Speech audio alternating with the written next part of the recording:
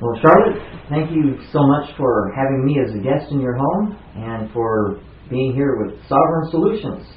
And to begin with, why don't you tell us about how you discovered what you've discovered? That's a very good place to start because uh, I guess everybody has to start there. You know, why do so many of us uh, spend our our lives once we find out what's really going on in the world. We spend our, our whole life trying to help other people understand so that future generations will live in freedom and prosperity and and uh, be allowed to think, speak, act according to their own conscience, right?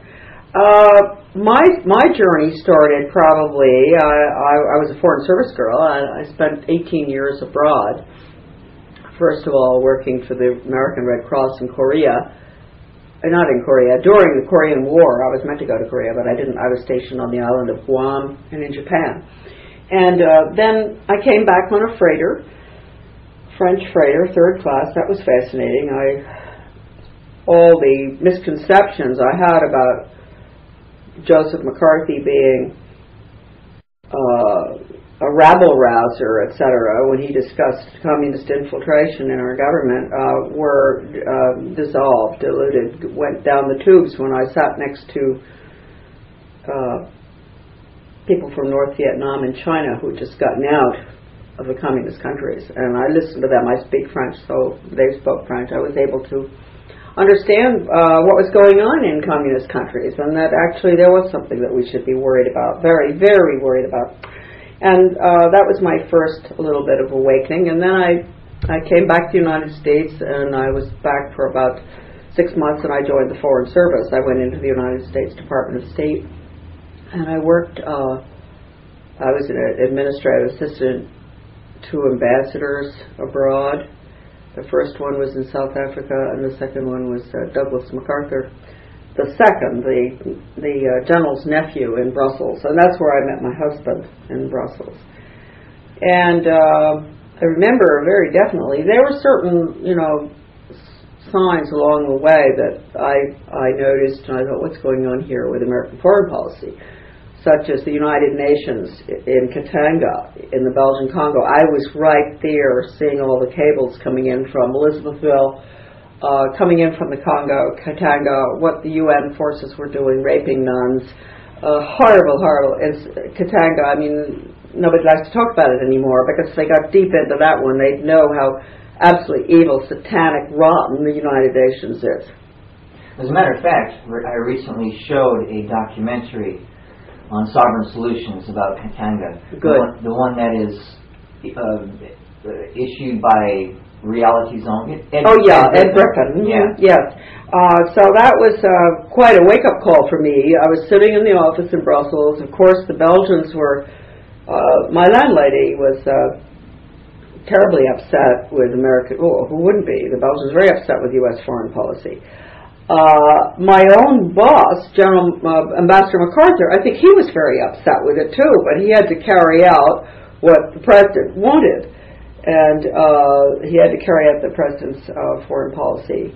And uh, anyway, then I got married. We came back to the United. We came back. I, I left Belgium, came back to the United States. My husband came over. We got married. Then we went interestingly enough, back to Belgium for four or five years, which is a lovely period in my life. Had one child, and I, then we went uh, because my husband is a uh, yacht uh, yacht captain, and that's what he's always done all his life, plus selling yachts. And we, we he crossed the Atlantic on a Alden schooner. We bought a schooner in Brittany, and uh, we went to Grenada in the West Indies, where. Uh, uh, he operates that schooner as a charter boat out of Grenada for six years that was an interesting place to be as well because later on, the hardcore communist regime took over there. It was really a Stalinist regime that took over in Grenada. And I can thank Ronald Reagan for one thing, although he shouldn't have done it because it was a UN operation again. Uh, but going in there, as he did, uh, saying the excuse was to rescue American students, I believe the excuse really was to protect the oil lines, but, you know, down to Trinidad, et cetera. Uh, but anyway, regardless of what the excuse was, we had marvelous friends down there who benefited enormously, and uh, the stories coming out of Grenada were another thing, uh, communism in action little micro, microcosm. Grenada was a great study. I mean, if, if only stu- students in college would just uh, spend one week, their professors uh, teaching them what happened in Grenada and how every single aspect of the system, the government, the the economy, the agriculture, the education system was turned on its head by the communists. And a good percentage of the Grenadians left the island because of it, right? So I learned a lot there. But you asked me what really got me started. We came back to the United States, and I had two young children. And so I naively put them in the public school system because I didn't know how horrible it was. I had no idea what what was going on in this country, what had happened in the 18 years that I'd been abroad. And um, all of a sudden, I you know I asked these the principal over at the elementary school if I could see the new social studies textbooks for elementary school. And he, he gave me the teacher's manual, which was the biggest mistake he ever made. You know, he didn't make any more mistakes like that with me after that, but that was a biggie. Mm-hmm. And the, the, the program was called uh, World of Mankind, and the publisher was Follett. And right in the beginning, the teacher was it was the teacher's manual was basically telling a teacher what she should be doing with this particular global education course. And it said right there that it was humanistic philosophy, and anybody who knows what the Humanist Manifesto is, a lot of people don't know. They think humanism is a good, wonderful thing, humane, you know, we'll be nice to our neighbors, and you love everybody. They have no idea that the Humanist Manifesto is the plan, the total international takeover, atheistic control plan for the UN. That's what it is. And anything goes, tolerance of everything, no matter what, no religion, no sovereignty, world government, get rid of the military, get rid, you know, it's just a, it's a basic agenda. And uh, it's been around for a long time, and major signers were uh, B.F. Skinner, who's, you know, I could make a pigeon a high achiever by reinforcing it on a proper schedule, which is the method being used in the schools across the board now, being used in our communities now. You do good deeds, the police, community oriented policing system gives you a little medal if you do a good deed. Here in Bath, Maine, huh? Hmm? Do a good deed. Uh, they determine what a good deed is. That's the uh, reward system that's being put in across across the board. No accountability, no personal accountability as an individual anymore, as a group. Collectivism, communism, we're, that's it. So anyway, I saw this, thought, wow. And also they had little uh, project for the teacher, or sort of a little daily escapade. She'd take the little kids, first graders, in town and they'd look at the houses. This was in beautiful Camden, Maine, and we happened to have a great big captain's house. That didn't mean that we were rich. And uh, a lot of Mainers have big houses, doesn't mean they're rich. And then across the street, you'd have a trailer. And the, the teacher would say, Who do you think lives in the captain's house? Who do you think lives in the trailer? What do you think they eat in the captain's house? What do you think they eat in the trailer? And so the children would say, Oh, you probably have steak in the captain's house and pizza in the trailer. And I thought, what are they doing to these children in first grade? This is the beginning of class warfare. So I went to the school board meeting and I complained. I just said I thought this was a very non academic activity, which had a highly political tone. And uh, what's the purpose? Hmm? Well, the next day, uh, of course, the newspapers picked it up. I was all over the front page. But the next day, one of our tenants, who'd also lived overseas for quite a while, and she's very bright, knew what was going on, she said, "Oh, Charlotte, I was at the co-op today. You know, back then in the 70s, everybody went to the co-op and got cheese and whatever, you know, vegetables cheap and all, large quantities." And she said, "Oh, the word is out that you're a kook." And I thought, oh, well, that was my introduction to how they deal with people who question them, who uh, do their research, uh, don't like what they see, ask their elected representatives what's going on. Uh, if you get really close to the truth, you're called a kook. And they did that in the Soviet Union too, and they, you know, they did in China, any communist fascist country. Uh, the minute you open your mouth about something, ask a question, do research, uh, they tell the rest of the community that you know she's nice, she's a really nice woman, but maybe you know sometimes they don't call her a kook, sometimes they do. Uh, you know, you don't have to be mean to her, but? Well, who wants to associate? Human beings are it's a, it's a natural reaction. Human beings don't really want to associate with crazy people. You know, they really don't. It's it's hard work. I mean, it is. People work with them in hospitals. It's it's hard work, and you admire them for the work they do. So anyway, if you're called a kook, that gets the word out in the community. Don't listen to this woman ever. So I found that out. Then I um, I ran for school board, and I I after the third try, boy, they were really upset when I ran. Can you imagine? I ran three times. Two times I lost. Third time I won. I did win by a few votes, and they. I remember them count. They counted the votes two times at the Opera House in Camden, just to make sure that you know possibly she didn't win. Huh? Well, I won. I got on. I. The superintendent was a change agent out of Harvard, and I'll explain what that is in a second if people don't know. And uh, I was I, I did do a pretty good job there. I got rid of the the values destroying values clarification. I, I got even the liberals went along with me getting rid of that horrible Sidney Simon program.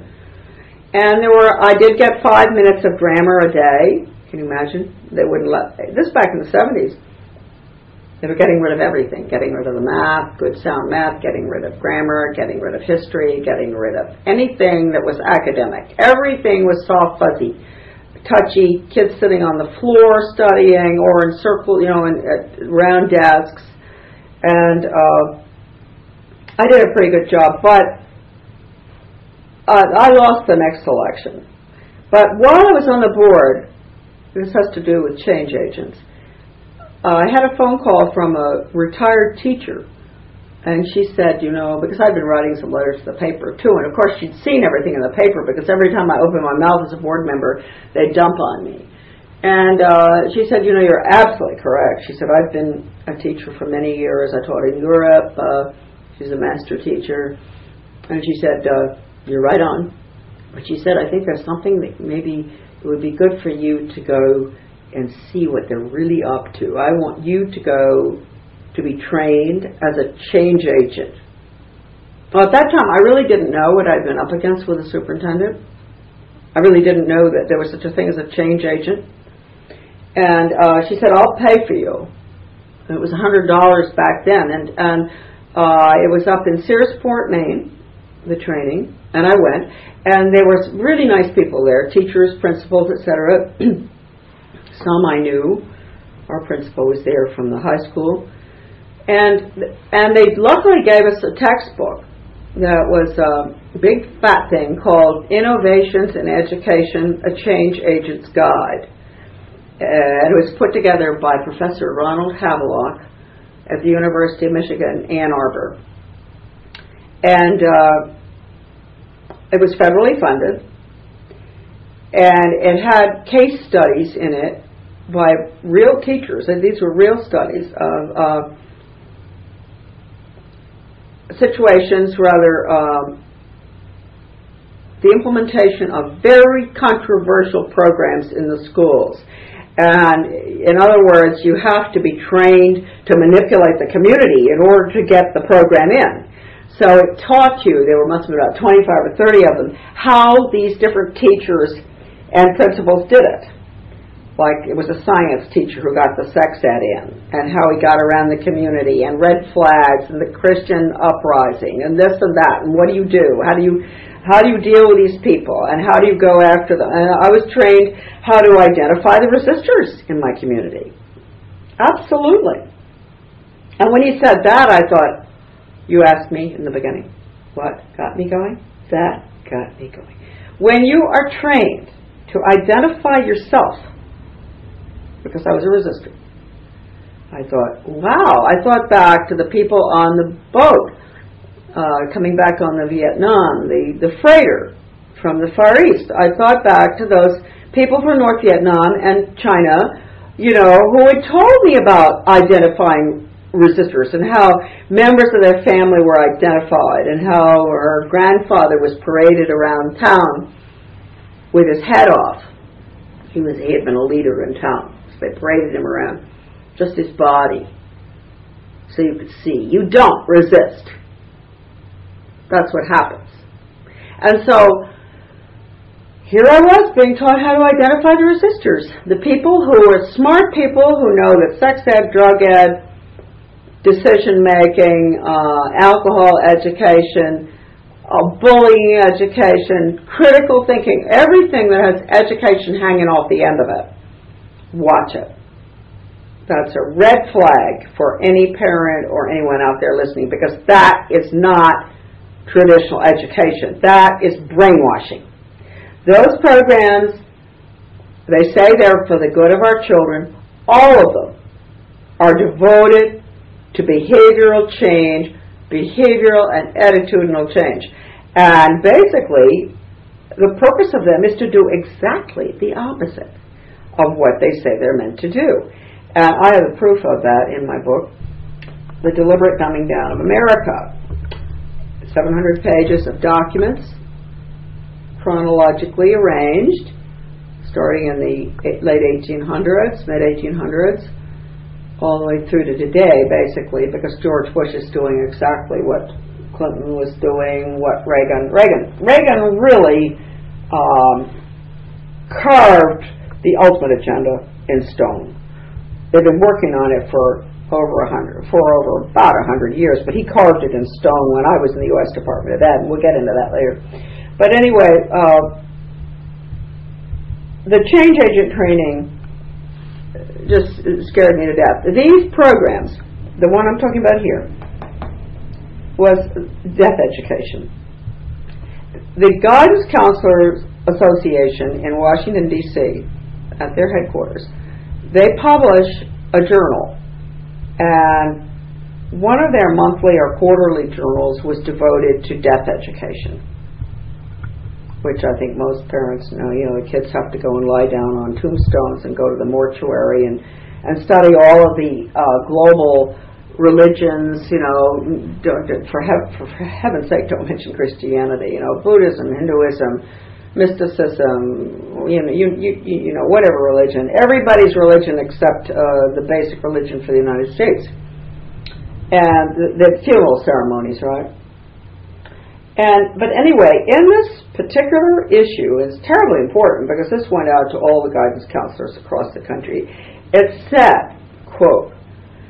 We in the, in the death education movement will use death education to change the students' attitudes and values and beliefs about death and dying the same way we used sex education to change their attitudes towards sex and various sexual practices. And when I saw that, I thought, Sometimes they make mistakes. I guess they never figured I was going to read that. But that was the proof, all the proof I ever needed, that these people, these change agents, their goal is to destroy traditional morality and academics. It's total, deliberate destruction of moral, morals, academic and moral destruction. And people would say, "Oh, uh, you know, that woman, she's she is a kook. Why would they do that?" Well, it's a lot cheaper than bombers, and it's a lot less obvious. You could take a country through the schools, and they've done it. That's why you have all these people out there who don't understand you. When you try to tell them something, they're nice, they're sweet people, your friends, your neighbors, and they look at you with a glazed expression. because they have been victimized, psychological warfare, and it's, it's been played out in the schools and the media every day in your community, television, etc. But the schools basically have, have been, and the poor teachers have been victimized even more than the children. So anyway, I went through that training. I was I was appalled. I was also told to identify the important people in the community. You know, who the head of the garden club, Rotary, Chamber of Commerce, uh, all the all the people that you know, good people, and they've been taken to the cleaners too. They they think they've been doing the right thing for their. I mean, some of them are major change agents. Don't think it's just in the schools. You'll have the head of the Rotary could be a major change agent to collectivize your community, right? Through sustainable development, the schools, regionalism, all of this is communism. Regionalism is communism. Good quote in my book from a leading communist who wrote in the Communist Daily World. What Article on is regionalism? Well, Stalin, Lenin called for it. First of all, well, regionalism is this is this council form of government, which is a Soviet form of government. It means you have unelected councils. You drop the borders between the town, the county, and the state. You end up with an amorphous group, uh, a region, which uh, doesn't represent you any longer because it's bigger. You know, it's it's moved out. I was I was the uh, uh, as a school board member, I was appointed to be on the uh, vocational ed council for four different school districts. And I saw it there. That's probably easier for people to understand. We were a wealthy town, Camden, Maine, and we ended up paying uh, the lion's share for all the other towns. Redistribution of wealth. Redistribution of wealth. And uh, the, it's it's getting rid of spreading, bringing bringing in from the countryside to the. This is like consolidation with the schools. Bringing all the little schools into the major central school. That's what you call consolidation. Shut down all those schools out there where the children are closer, uh, are closer to their parents. The parents can go to school board meetings, etc. It's it's making government very distant from the uh, voter or the citizen, very distant. He no longer really has much of a say because it's been watered down through the big council form of government where they bring everybody into the council system and the other little, the little boards just go by the way. It's going on all over the country now. But anyway, this communist writer in my book, he said, the United States is moving too slowly towards regionalism. It worked so well in the Soviet Union. That's a good quote. And I mean, there's so much on regionalism, wonderful work that's been done by Americans through the years. Arch Roberts did magnificent work, Colonel Arch Roberts, many, many others. Uh, on my new website, AmericanDeception.com, there's so much on there in regard to regionalism. Don Bell, he did a whole series of fantastic newsletters. Don Bell was a journalist in World War II who was in a Japanese concentration camp, came back to the United States, wrote newsletters up until 10 years ago. Most magnificent work you've ever seen. Well, on my website you have his uh, series of um, fabulous articles on regionalism and Maureen Heaton's The Impossible Dream, incredible book, is also on that website. But anyway, uh, that's exactly what we were looking at in our community, where uh, the leadership of these groups, many of them were deliberate, and many of them were definitely change agents. Others perhaps not, maybe not Garden Club Historical Society, but they were being used. I was, as a change agent, meant to go to them and say, well, you know, we we have a bit of a problem with a, a couple of pregnancies in the high school, so we need a sex education pro- program. Well, probably in most cases, they would target the schools that or the towns that have the, the least problems because they want to create the problem. I'll never forget in Michigan, uh, some parents calling me and saying, "We can't understand why on earth are they putting in the comprehensive health education in in this community because we don't have any pregnancies, we don't have we don't even have problems with the kids drinking or drugs or anything. Why are they putting it here?" I said, "Because you don't." The goal is to get you to have the problem. And when they can crash the morals and values and they can crash the academics, then they can impose the totalitarian system which is George Bush is putting in right now. Clinton before, Bush Sr. before, Reagan before, Carter before, uh, whoever, uh, Nixon, uh, they've all been in it. I mean, you, all the way pre World War One, uh, we have had every single president has had the same agenda. Might as well make that clear. And I mean, sometimes the end of an interview comes and the guy will say, well, do you have anything you want to say? And I say, yeah, there's only one thing you have to remember when you go home, and this is easy. There isn't any difference between the Republican and the Democratic parties at the top. And this has been planned ever since the late 1800s Carroll Quigley said this in Tragedy and Hope. Carroll Quigley was Clinton's mentor at Georgetown University, and he wrote this great book, Tragedy and Hope. He was an insider inside the economic, financial elite, right? CF, Council on Foreign Relations, all that. And he didn't have a problem with the idea of world government, which is their goal, but he did say it shouldn't be kept secret from the people. And he was the one who talked about uh, in the late 1800s when the financial elite got together and they said if we're going to have this international system, we're going to have to control both parties at the top so that when the voters go to the polls, uh, they'll pull a thing and they won't know that it doesn't make any difference who they vote for. They're going to get the, they won't know that. And that's the most important thing for Americans to remember right now. It doesn't make any difference. I mean, people thought that George Bush was going to be a good Christian conservative coming. They should have known better.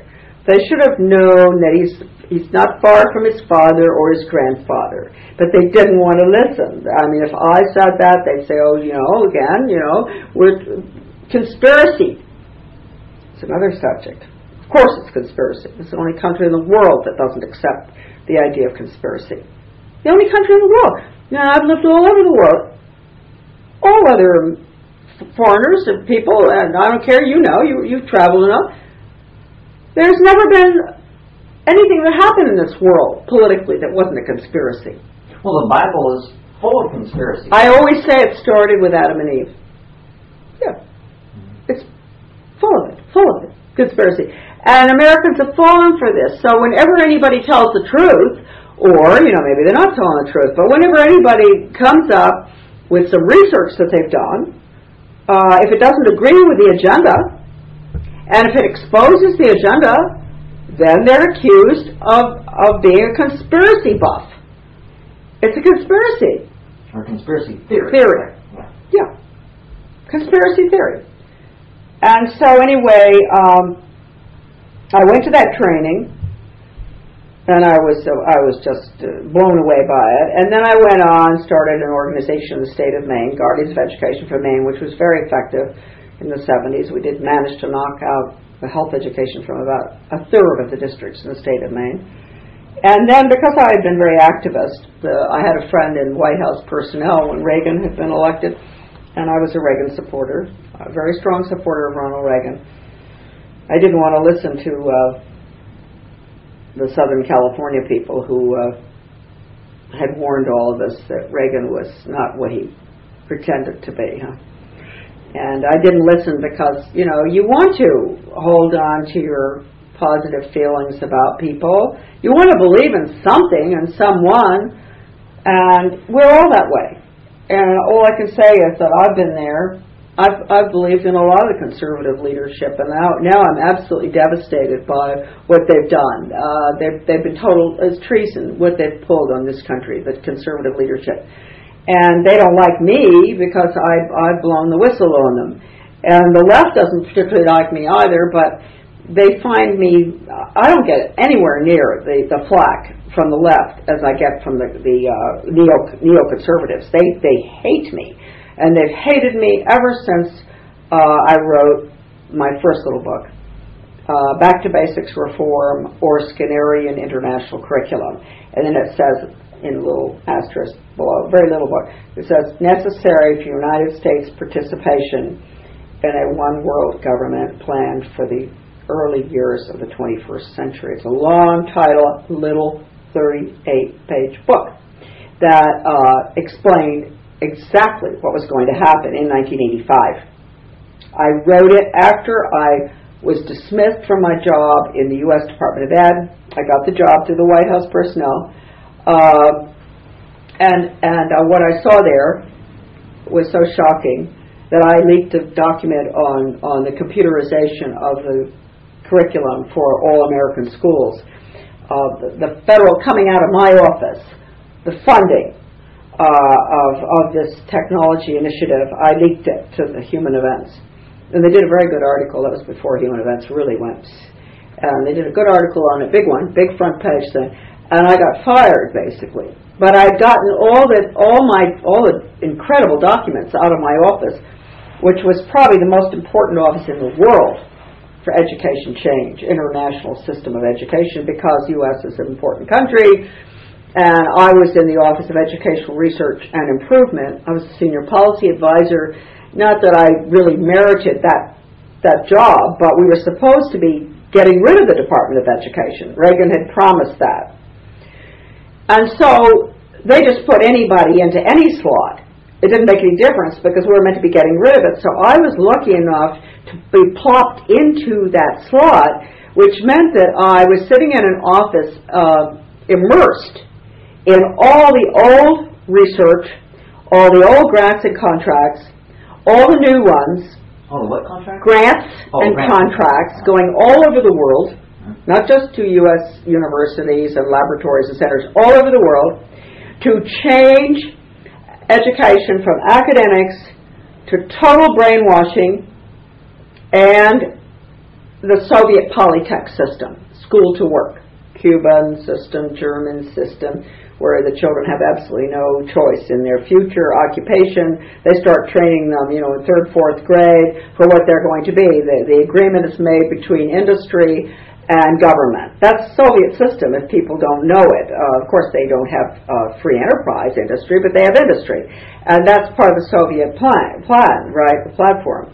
And the same thing here now with, with partnerships between uh, business and the schools, putting in this, this terrible system, this, this totally controlled system where uh, you have uh, it's quotas, you know, this many doctors, this many lawyers, this is determined by the government and industry and the universities. Uh, how many ballet dancers? People understand that because that was the Soviet Union, uh, etc. So it's a planned economy, and uh, they do not educate. This is a direct quote from Professor Boyce, Eugene Boyce, University of Georgia. They do not educate for jobs that do not exist. He wrote a very interesting book on that, and he was not a conservative, but he was talking about the Soviet system. Same thing here. They're not going to educate your child in Bath, Maine to be whatever she may want to be. Maybe she's going to want to be a landscape artist, huh? Uh, if there isn't an opening, or a lot of people out there who need that, she's no, she won't get an education here. She'll have to move elsewhere. Okay. So anyway, uh,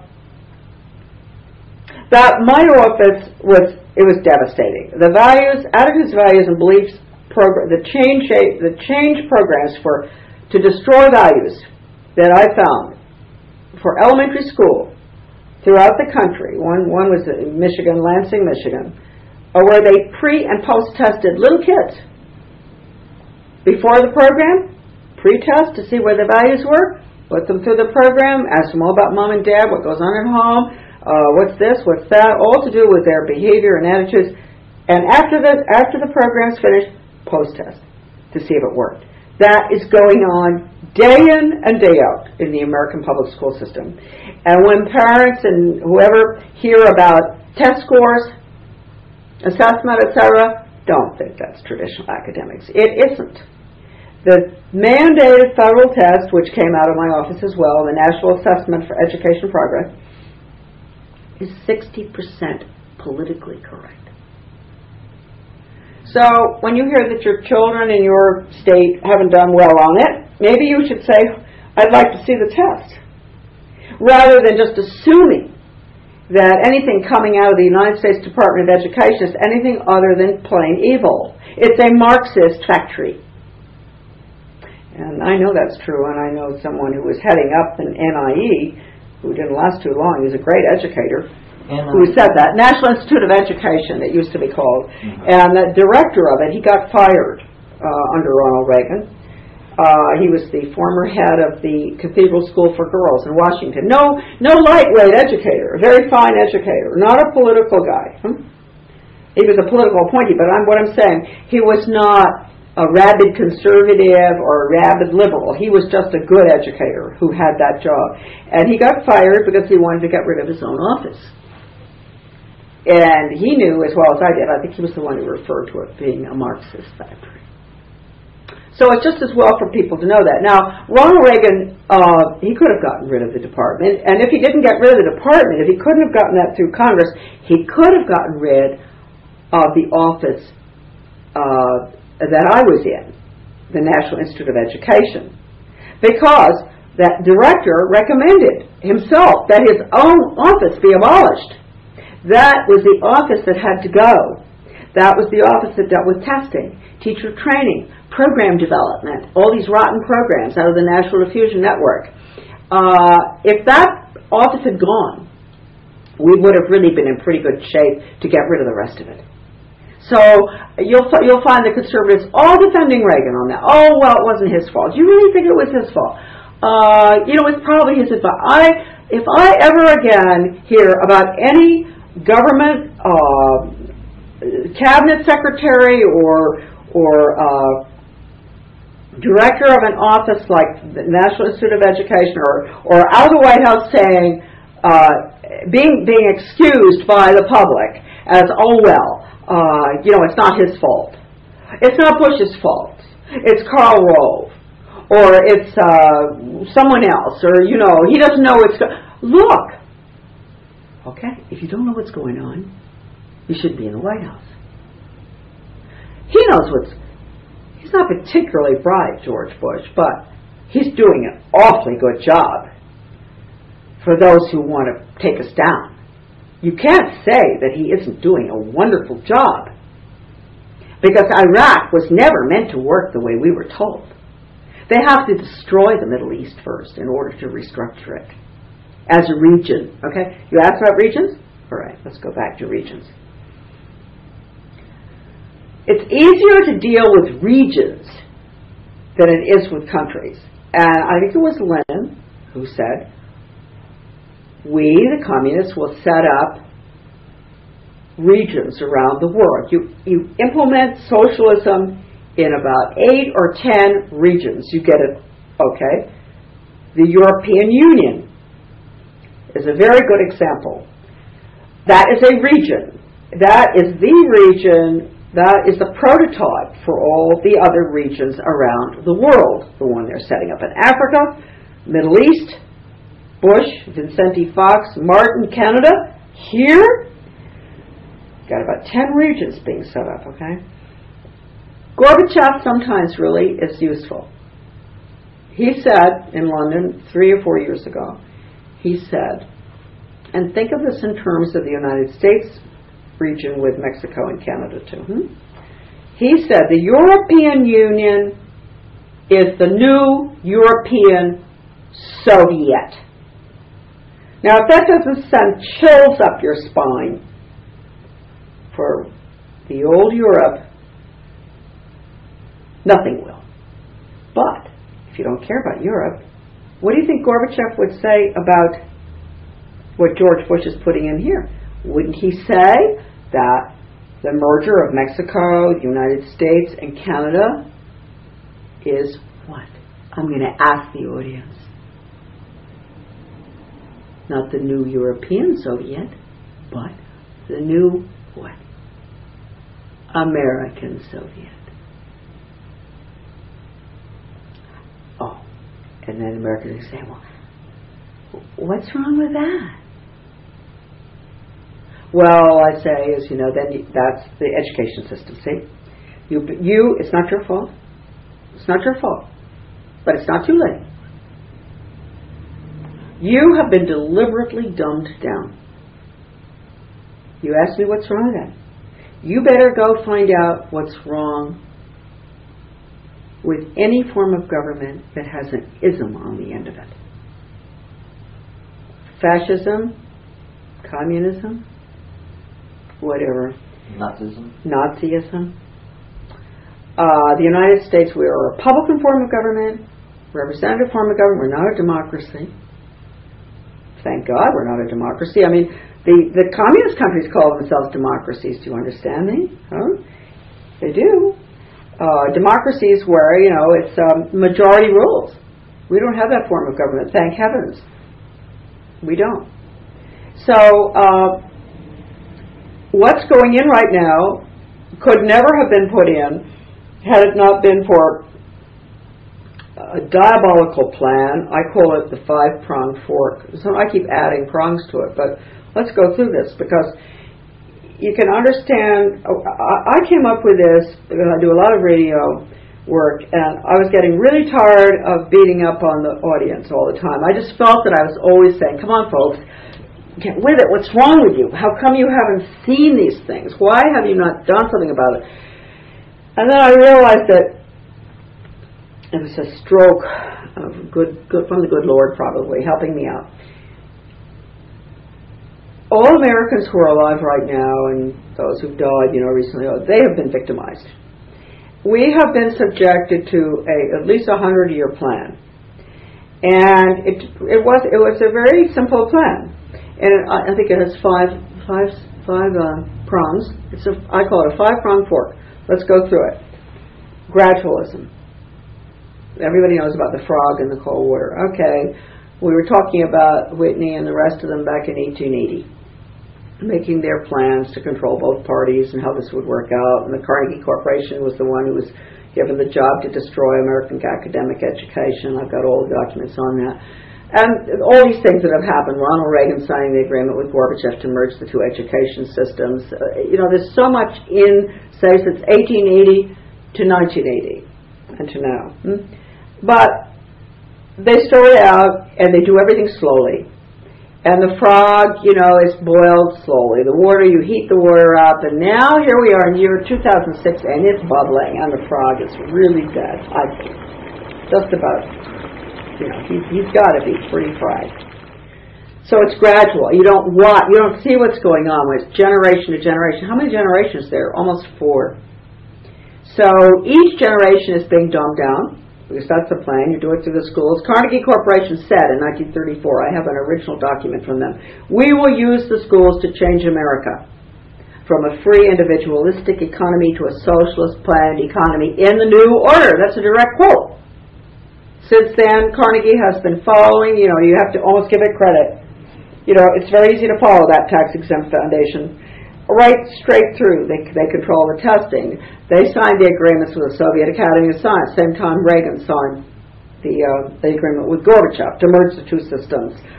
Uh, Carnegie was deeply into the restructuring of American education, using David Hornbeck to go down, first of all, to Kentucky. And uh, that was for a school to work, totally. I mean, Hornbeck, who was involved right from the beginning, putting in the school to work agenda, which I was, you know, it's like Cuba, you know, the quota system for jobs and all, working with the government, government industry. Uh, he said in a book, Human Capital, of that uh, with Lester Salamon. He wrote that book. He said the corporations don't want well-educated people. Well-educated people give us too much trouble. They quit their jobs and all. So don't forget that. Next time you hear that the corporations are upset about no basic skills and all, that's not true. They want people, cookie cutter, button pushing people. Period. That's it. And so, anyway, we'll go back to that's the frog, okay? Gradualism and morality too. It just keep we keep falling off the cliff more and more and more with the values clarification. But we're get into that. The next thing, let's call it the dialectic. The next thing. The dialectic is you have uh, the thesis and the antithesis and the synthesis in the middle. The thesis is it's wrong to steal. The antithesis is okay. Okay, you keep talking about it, have all these meetings in our communities, you know, oh, get the community involved, we're all going to discuss this stuff together, and you end up, you know, well, let's say it's wrong to steal drugs for your sick mother. It's wrong. No, after all the discussion, you come to the middle. It's okay sometimes. Because she's sick. She's going to die. So you can steal when she's going to die. Huh? Okay, so you move, you keep moving closer and closer. You finally fall right off the cliff. You have no morals left at all. And this could apply to homosexuality or or murder or anything. I mean, look, if you if you have a father that you don't like, who's been beating you up ever since you were two years old, or or, or other things, whatever, uh, you know, really, I'm sure that you really think it's okay to kill him. You can justify that in your mind, and that is what has happened to all of the sick character education, values education programs in this country, which try to to uh, base their curriculum uh, on on uh, character education, with uh, to base it on a system that uh, has no relationship whatsoever to Christianity. Right? You can't do it. It doesn't work. And we have all these children, these sad kids running around in trouble. Even if they're not in trouble, look at their faces. They're tragic. They can't read, they can't write, they can't talk, they can't smile. So we've done that. Okay. So then you, that's the dialectic. I hope people understand what the dialectic really is. Uh, one example of it, uh, this, this probably is the best because it's funny. Uh, when I came back to the United States, well, no, after I got married, after we had two children, and I was doing the laundry for my husband one day. He was white shirts. I put a red sweater in with his white shirts by mistake. This is what you talk about. You, you decide what you want. How are you going to get it? You create the problem, and then you give the people the solution you want. Okay? And they do it every day. The change agents how are they going to get uh, education moved from the local level to the state level? Create the problem, old people scream because the taxes are so high. Then they come in and say, oh, well, you know, we'll move education funding from the local to the state. Oh, that's what they wanted all along. Everybody says fine. But anyway, to make you understand, so I, I do that. My husband says, okay, you're never going to do laundry again, not for me. Now, say I didn't want to do laundry in the beginning. Mm-hmm. That's the way I ended up never having to do laundry again for any of the men in my family. Because the boys knew what I'd done. Mm-hmm. And so, Mom, don't worry about it. We'll do our own laundry. So, you figure out what it is you. I didn't want. I. I, I never had that plan in my mind, but I've always remembered that because it worked. Mm-hmm. And had I not wanted to do laundry ever again, that would have been the perfect plan. Put a red sweater in with the men's white shirts. All the shirts are pink. They get upset and they say, you don't have to laundry anymore. So that is also the dialectic. Okay. Then you have semantic deception. You must, everybody must know it. Semantic means fake, false, lying, etc. So they use words that mean one thing to the parents, like basic skills. They think reading, writing, arithmetic, basic skills. No. Basic skills do not mean that anymore. Basic skills are anything's okay, right? Uh, the U.S. Constitution is outmoded. Uh, we have to go along with the rest of the world. We all have to get along. We have to give up the, the Constitution. That's that's a basic skill. Global education would be involved in basic skills. So people, that's semantic deception. Uh, decision making. That's a really good one because I remember when I got rid of the values clarification as a school board member that night when I got even the liberals to go with me, the superintendent called me the next day and he said, Charlotte, this is the change agent superintendent out of Harvard, uh, would you mind if we um, put in a program in decision making? And I said, oh, I wish I could look in your beautiful blue eyes because you know that's exactly the same thing. And that was the last I heard of that.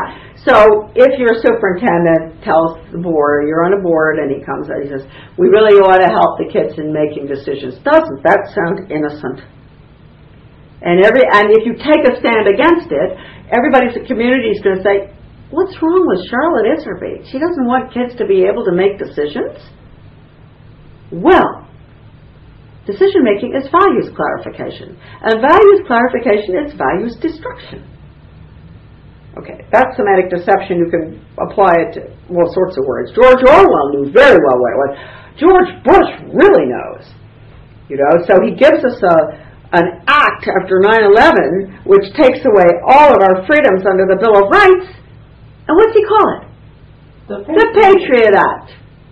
He puts in an initiative now to screen all children for mental problems, and he calls it, in the schools, the Freedom Initiative. Well, I mean, really, it is hard to believe that uh, this is going on and people are not questioning this. I mean, the use of words, I mean, it, every, it just goes on and on and on. And patriot, I mean, we're no longer, you are not, you're not a patriot, I'm not a patriot. Anybody who opposes this government, this administration's agenda is being carefully monitored and watched. I mean, Patrick Henry would have been a perfect candidate for Guantanamo. Really. It's sad. And then the American people are just letting letting this go by. So anyway, so we've gone through we went through the frog, the uh, gradualism, we've been through the dialectic, we've been through semantic deception. Uh, of course, you have big bucks, and uh, you know the Federal Reserve, endless amounts of money. Uh, Printed out of nothing. absolutely, Backed absolutely nothing. printed out of absolutely nothing, and uh, I'm trying to think of what the other one was. I can't think of it right at the moment. But uh, it's been a plan. You've been victimized, and uh, there's no there's no wonder that the American people have sort of gone down as far as having any desire to understand what's going on. They've been conditioned. The media, of course, is one of the prongs of the fork too. By the media, they've been conditioned to believe anything they hear on the nightly news.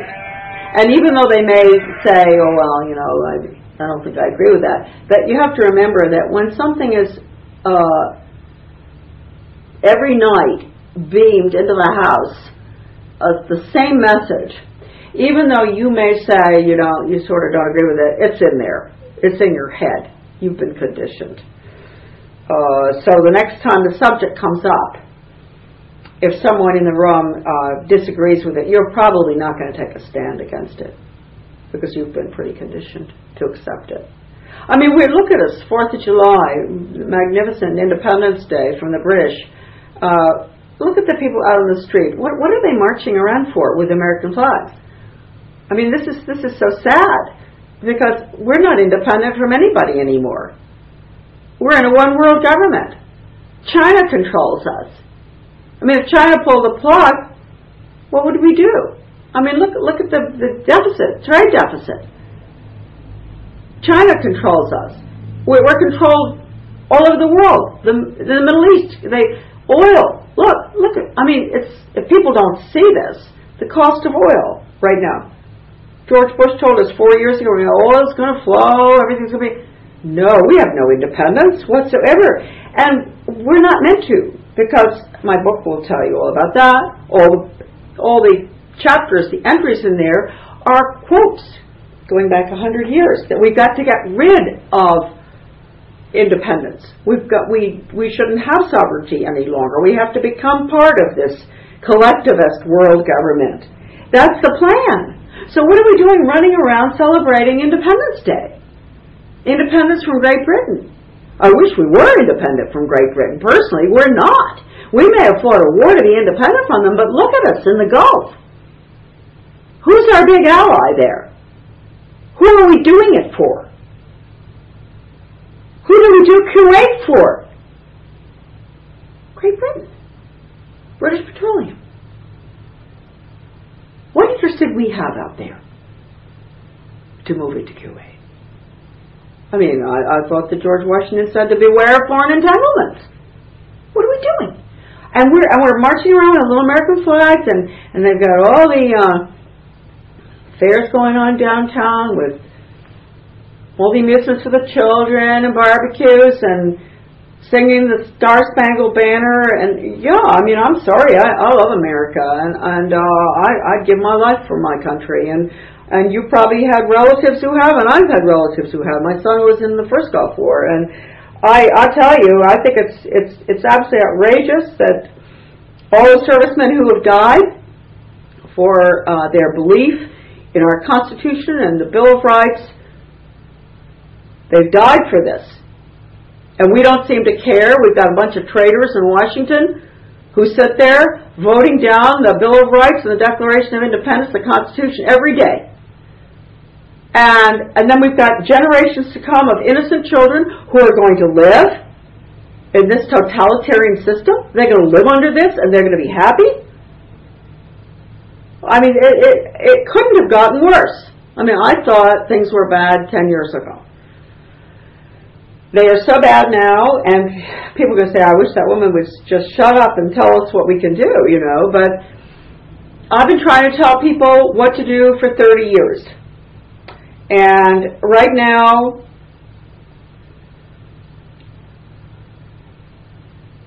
I think there are things that could be done, but to get the American people on board is not going to be that easy. Uh, there are many things. I mean, you, we could all stop paying our taxes. Uh, we could all keep our children out of school.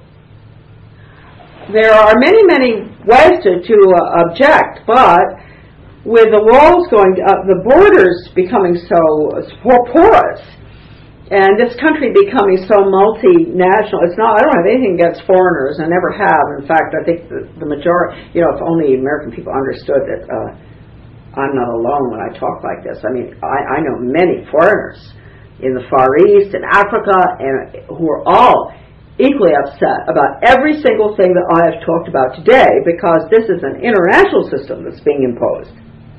It's not just on us. I mean, all it, inhabitants of this planet are going to be affected by the same exact system that's being put in everywhere, region by region. After all the regions are formed, then, as Lenin said, they all join together. The regions are all joined together and they go under international socialism, which is communism. And I believe the state, the federal government, basically will wither away. Interestingly enough, it's being, you can see it happening right now. Uh, we have all these exchanges with, with the former Soviet Union and other countries where uh, our police are being trained with their police and uh, all sorts of exchanges going on, not with a federal level, it's with a local level, if you notice. Everything is going to be local. And they're going to bypass our elected constitutional form of government in Washington and at the state level. It's going to be brought, everything brought down to the local level. That's why you have the sustainable development stuff and all going on. And the local level is going to be hooked in to the UN. And that will be through organizations like the International Union of Local Authorities. That's a good one to go to on the website and you'll see that our local authorities who've been doing these exchanges with foreign countries and all, uh, they are going to be the ones in charge, and there will be no representation for us at our state level any longer or federal level. Everything will, all instructions are going to be coming out of the UN to the local level. Now that's just Charlotte talking, but I'm pretty sure I've been watching this for a long time because I remember Lenin saying this, these the state would wither away. And uh, the local level, that's why they've got community-oriented policing.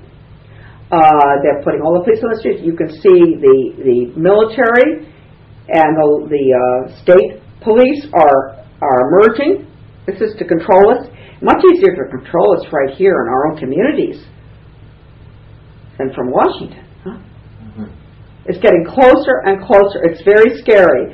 And there are lots of plans in the making to really do away with elected officials, setting up the little, uh, you could almost call, you know, it's little community councils with appointed people who are going to make sure that people like myself have very little say, and who knows, maybe the electricity might even not even work in my house. You know, there'll be all sorts of, because if you don't have elected officials, you have no representation, there is no accountability whatsoever from those people because they don't have to run for office. You can't get rid of them. The most serious thing that happened in this country, I think, in the past 30 years was what you'd call site-based management. And it started, interestingly enough, with the schools, because everything eventually will come under the, the umbrella of the school district, lifelong. These huge Taj Mahals that are being built all over the country, you know, as schools, they're going to be, for all the community services, will be underneath that umbrella. Well, by the way, we've got about 30 seconds or so. Okay. So, uh, I, this has gone so fast because it's so interesting, but do you have any last pearl wisdom? Well, the most important thing for people to watch out for is having, having them take their elected officials away from them in the, at the local level. Do not let it happen.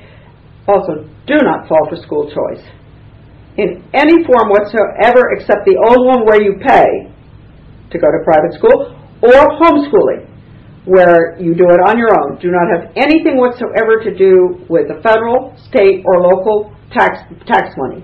If you do, you're going to have to, your children will have to take the federal test, which is, as I said, 60% politically correct. So, as far as education is concerned, be up in arms against charter schools, which are also our public schools. They're, they're the basic thing for school to work, charter schools. A lot of people think that they're private schools. They're not. They're federally funded.